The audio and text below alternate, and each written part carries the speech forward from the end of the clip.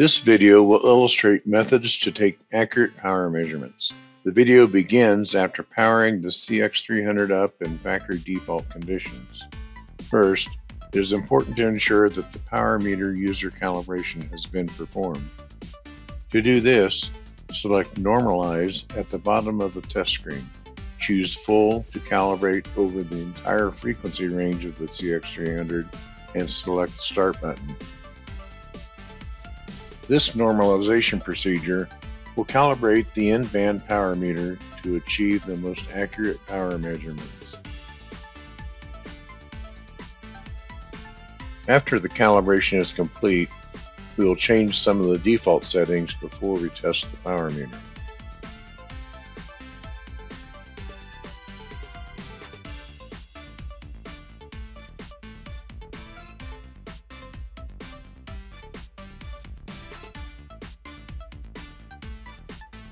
By default, the CX300 input and output ports are not routed to the duplex port, so we will change that first. Now, enable the level offset field for the RF signal generator. Then choose one of the stored cables for use.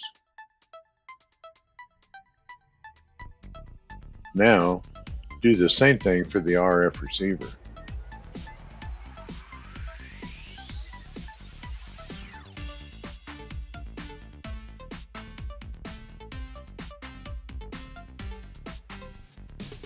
Now, I will expand the channel analyzer to choose a more appropriate of scale for viewing a transmitter signal. The CX300 offers an in-band power meter, so the receiver must be set to the transmitter frequency in order to measure power. Using a pre-configured frequency list can make this an easy task if you work with the same frequencies commonly. I will now key the transmitter and change my power meter units from dBm to watts. This radio is expected to transmit at 2.6 watts in the 700 MHz band.